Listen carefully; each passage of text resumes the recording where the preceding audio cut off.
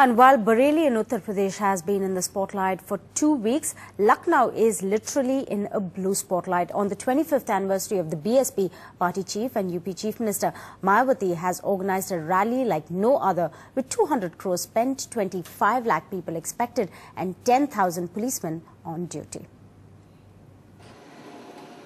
The stage is set for what's said to be the biggest political rally that Lucknow has ever seen.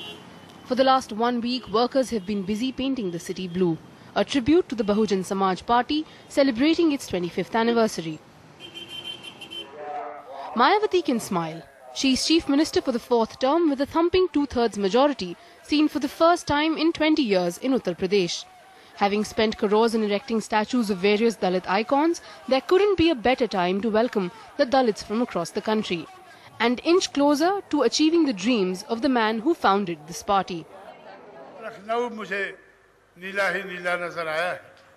अब सिर्फ़ उत्तर प्रदेश को नहीं, पंजाब को भी मुझे नीला ही नीला करना है। और चंद सालों में हमें पूरे देश में बहुजन की हुकूमत बनाना है। But then the BSP faces fresh challenges. Bareilly is under curfew for two weeks now. The arrest and release of a Muslim leader there by Mayawati's government has been criticized.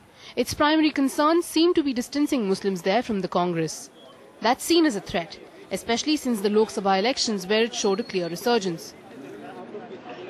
By not allowing any of the opposition leaders to reach Bareilly, the BSP appears keen to stop both the Congress and the BJP from consolidating their respective votes there. Well, certainly after the election, she started uh, uh, organizing conferences with the minority leaders, especially the ulamas. She's trying to crush every movement in uh, UP so that the voice does not resound and uh, the impression goes that everything is fine in UP. Wooing Muslims is especially important since the social engineering, the Brahmin Dalit combine that brought her to power in 2007 needs a relook after it failed to pave her way to the power chambers of Delhi.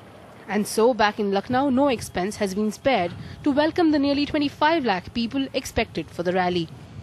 The opposition claims the taxpayers' money is being misused. कम से कम कम से कम एक हजार करोड़ रुपया खजाने का खर्च होगा सरकारी पैसा सरकारी पैसा कम से कम कल की महाराली पर महारानी पर From spending several thousand crores on her statues to her prime ministerial dreams, Mayawati has always thought big.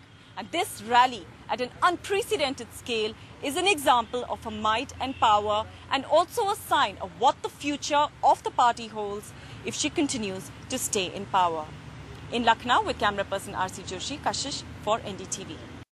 Tuba.com